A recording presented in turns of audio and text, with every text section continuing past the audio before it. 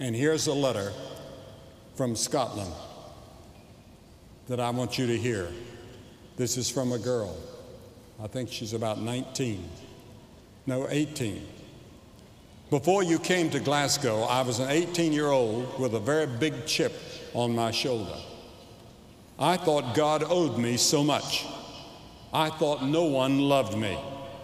I thought there was no meaning to life. Something was missing in my life.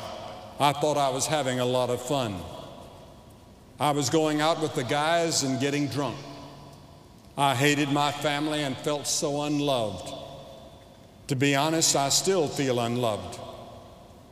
Even by my family, they think I'm just a loser. One of my brothers used to sexually abuse me, the other one beat me up. I feel like I have it rough with very little love in my life before this week. I'm no angel. In fact, I'm a totally awful person. A few months ago, I was expelled from school and I was blaming drugs.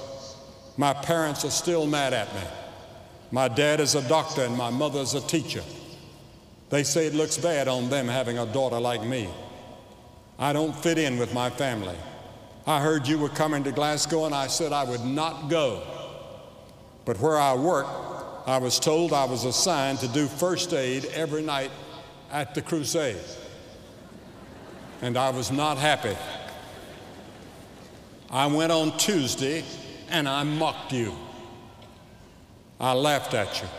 I said, What does he know anyway? I said, Doesn't he know God does not care for us? But I guess I was listening anyway. On Wednesday, I said, I don't deserve God's love.